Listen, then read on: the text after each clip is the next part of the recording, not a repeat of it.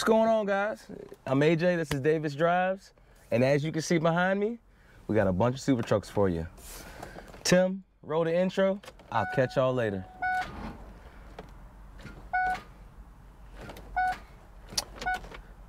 Well, um, I was gonna catch y'all later, but uh, I gotta jump this, so Tim, roll the intro.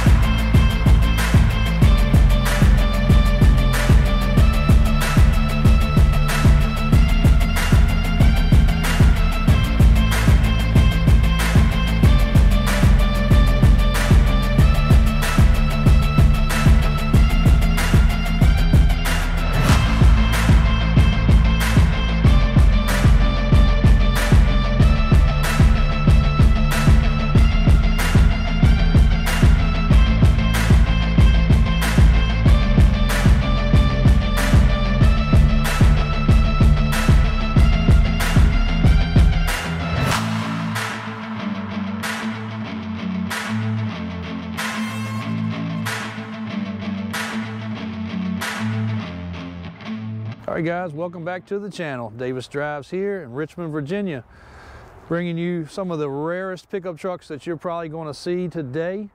Um, and very thrilled that have them all in one place at one time.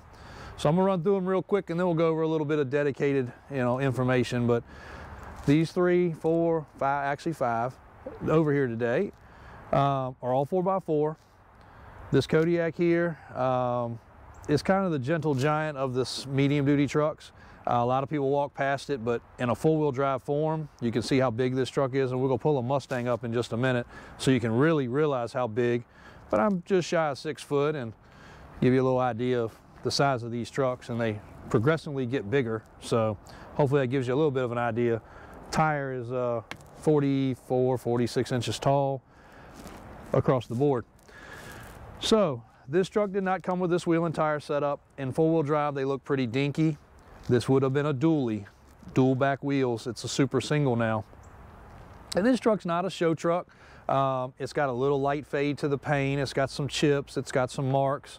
Um, you know, it's not the flagship of what we've got sitting out here today, but it's a cool truck nevertheless. And being the year it is, it's basically pre-emissions. There's no DPF, there's no DEF fluid required. So it's still a good old school Duramax motor, uh, 6.6. Functional four-wheel drive. It has had a lift kit added. Um, that's why it sets as tall as these others, uh, because stock it would not. It's definitely a lot shorter. And uh, the oversized tire definitely gives it some crazy, crazy curb appeal. Um, but we've had a lot of these. This was actually our first. I was telling a guy a story yesterday because he called on the CXT and he was just asking background. And the 4500 and 5500 series Kodiaks were the first Topkick and Kodiak. They called either one between Chevy and GMC. Um, was one of the first trucks we could actually afford in the super truck world. We pulled boats with it, and RVs and campers, and it was a medium duty, so it was a lot safer than using a 350 Ford, which is what we always used. Um, so it broke us in before we had Freightliners and before we had anything else. So out of this lineup today, a PX4 is really the only one missing, which would be a Freightliner version of these trucks. Um, we even got a Mercedes version of these trucks, but it's up at our service shop. We didn't have time to get it here before we need to get this video knocked out. Um, moving along, CXT F650 uh, Kodiak. CXT, this truck was factory set up this way. So this is one of the few that's actually built from the factory. And if you go on our YouTube, you'll search, we've had about every color there is. Well, we have had every color there is. And uh, there weren't but about 200 of them made, and we've had about 50 of them. Uh, this is the rarest of the colors. We have done a dedicated video to this truck in the past, but can't ever hurt to get more. Every time we post one of these, people argue, hey bud, you're wrong. That's got a Ford bed. So one thing I haven't ever touched on very much is in this era and in this year, Ford and International basically had a program together. If you did not know, your 7.3 Power Stroke pickup truck and your 6.0 Power Stroke pickup truck, those motors came from International. You look at the valve cover, they're even stamped International. So Ford provided the bed, International built the truck, and there's some other pieces and parts that overlapped, but that's just some of the information that people argue about. We're not wrong, we're not ass either. We try to be polite, but if you do your research, you'll understand this is how this truck was built.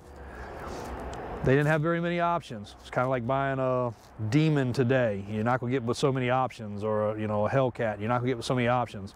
It was already the cream of the crop. The options on these trucks were a 466 motor and a 570 motor. This has the 570. Traditionally backed up by a bigger Allison Trans. I have not checked that yet, but I'm pretty sure it does. Interior option was basic leather, cloth, or cloth and leather, basically like a tweed. That's what this has. This one's a little different because it was a Mossy Oak build. Don't know if it was built new. Again, if somebody knows information more than we do, drop it in the comments. Give us a call. We'd love to know. But we think it was probably a SEMA build for Mossy Oak. The interior has Mossy Oak overlays. Uh, the seats have been updated in the front, but I have the original Mossy Oak seats. It has a custom back bumper, like a sportsman type bumper where you can put your guns and stuff in it. Um, and you can see the Mossy Oak symbol in the bumper. So um, back to the regular options, that just makes this one more rare. The color, this desert tan, uh, which the international dealer where we bought it says was original color um, and appears to be one of one. Um, probably special ordered by them to be, you know, similar to their colors. Might even had a wrap on it. We don't know. Um, the interior's got the option upgrade. It has the bigger TV in the ceiling, rear entertainment, tilt bed. Not all of them had a tilt bed. Most of them that you saw on the cover of Motor Trend and all these other places did have the tilt bed, but this one does. Um, it was 50-50 for a we can tell. Half of them had it, half of them didn't. Uh, then the biggest thing is air ride suspension. Very rare to find the air ride suspension. Most of them were spring. This one does have the air ride suspension. So push button inside, you can dump it. You can even put a control valve on it if you want to make it softer, easier riding or whatever. Um, and another thing we get a bunch of complaints about, not really complaints, but smart Alex comments, is the tires. So those are original. The date code matches. The other videos show you they're 05 tires. They're like brand new. So why do we leave them? Well, the truck's like brand new. It has very low miles.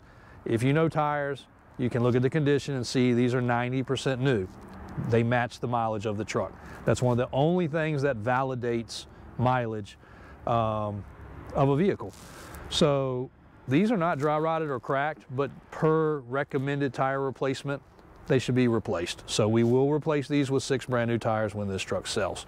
Um, unless somebody's putting in a museum, then they can keep their brand new but 20 year old tires almost. Um, just a safety thing. We like to be upfront about it. But that truck is impeccable. We have not even detailed it. We've washed it, taken some pictures of it.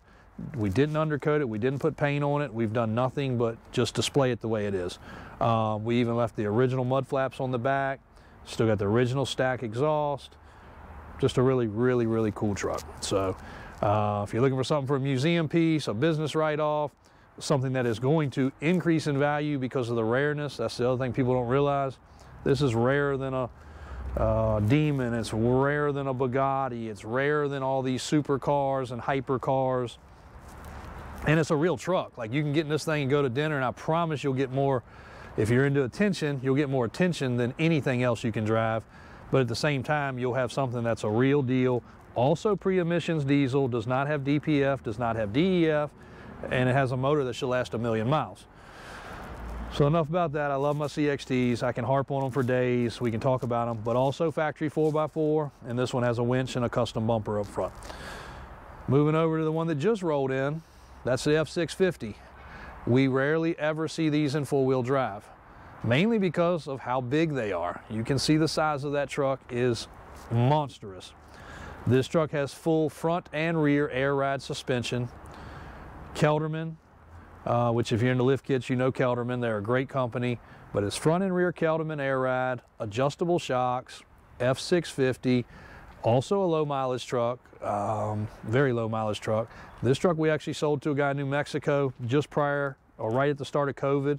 Um, he had a big, uh, I believe it was mobile home business and um, just wasn't using it. Business was good. So another customer purchased it and uh, it was too big for him. So he brought it to us, and that's how it ended up back here.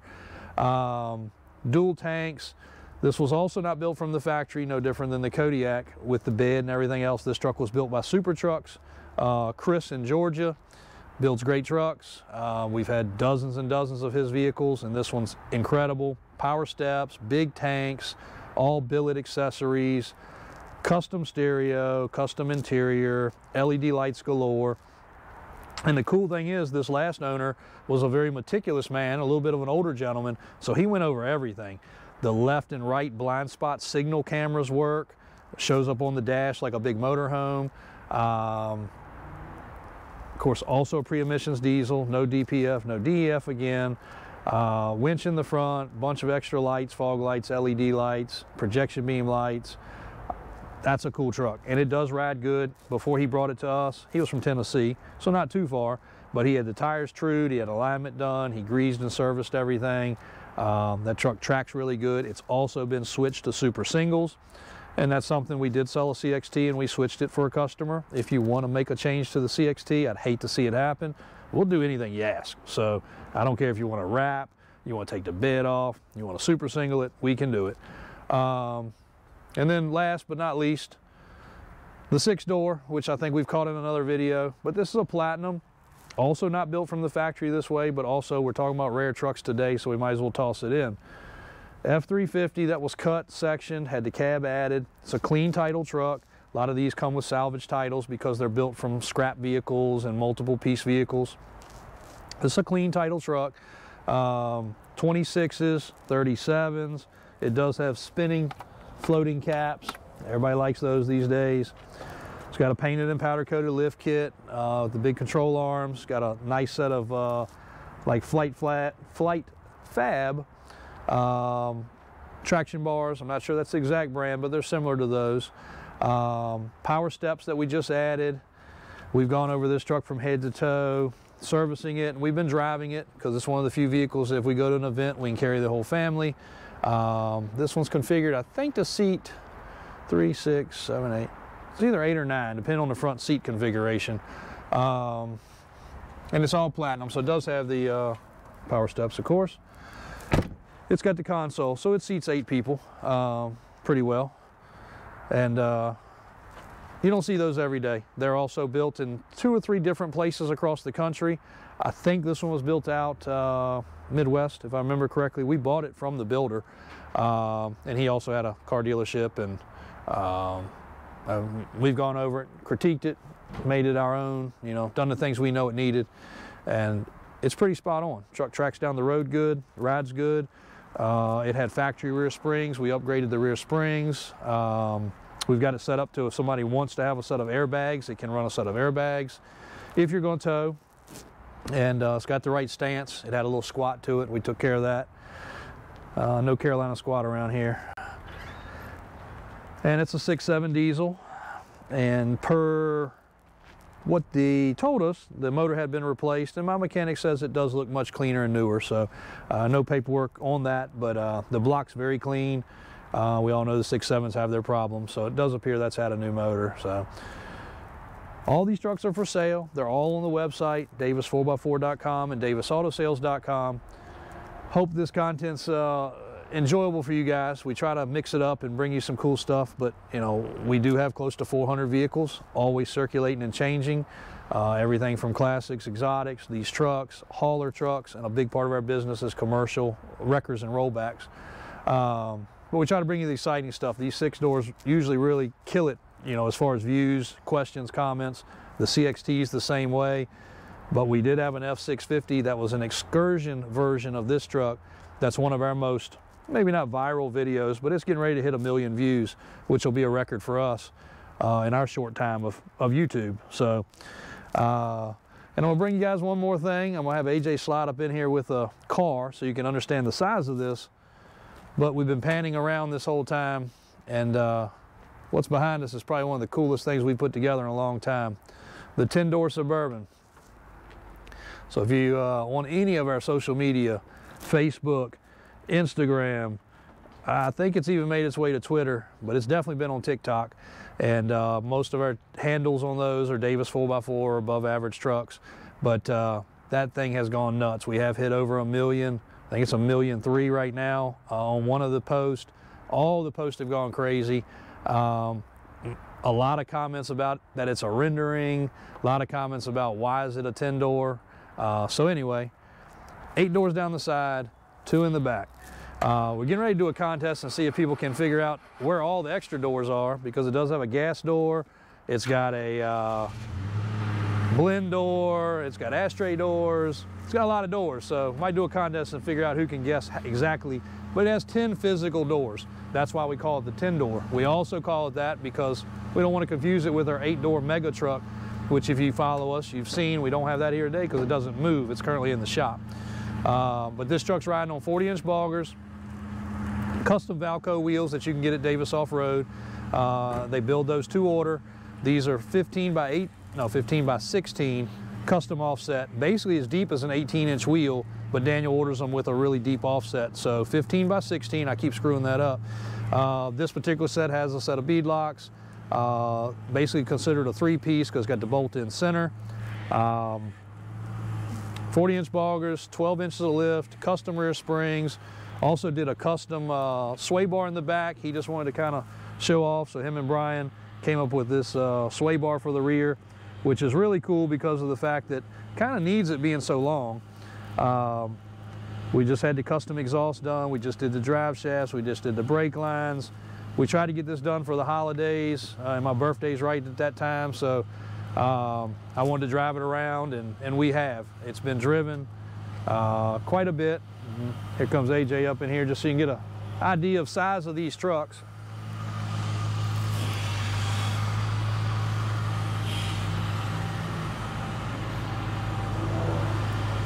As you can see, they're big. They're very big. The bumpers on these trucks are basically at the height of the roof of this Mustang, so you can see the uh, size comparison.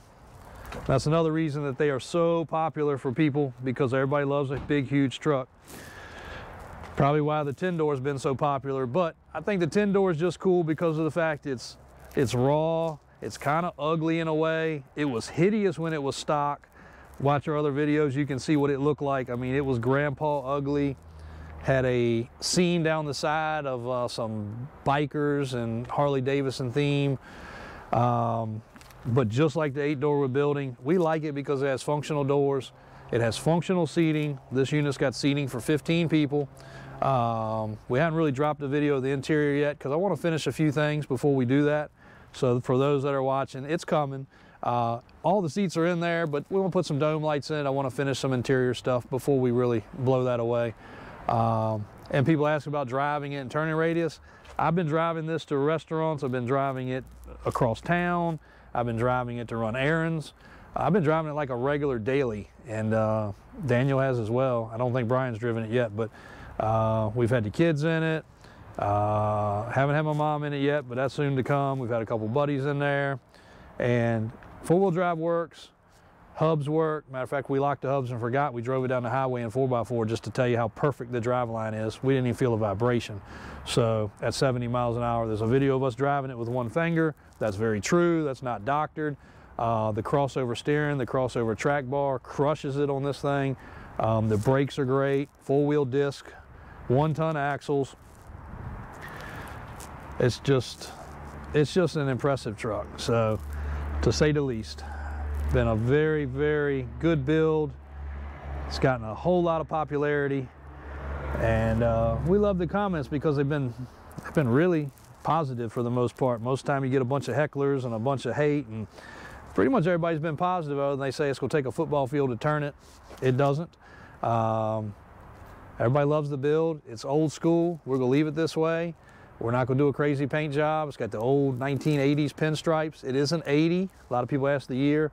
This is a strange year because 79 and 80 were a switchover year of the front end as far as the, um, the grill and the headlights between round and square.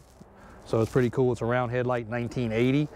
Um, upgraded lights, big block motor, probably gonna do some power steps on it. Uh, there's some future things to come, traction bars and other stuff, but at this time, uh, what you see is what we got. So hope you enjoyed this video. Uh, feel free to drop your comments good, bad, in between. We love to see them. Uh, we'll keep trying to bring you some unusual content. Still got the reef on the front of this thing, so uh, you can see it was a holiday ride. We'll keep watching at Davis Drives. AJ's gonna bring you a couple more clips of this stuff running down the road. Uh, show you show you what this stuff really does. But there's the 10-door Suburban in real life. I drove it into work. We just had a photographer come and photograph and do a bunch of stuff for his uh, Instagram page. If you're out there, if you're local or not local and you're a photographer and you want to catch some cool content, check us out. Um, now that the showrooms are done, that's why we're over here. There's still construction across the road, noise.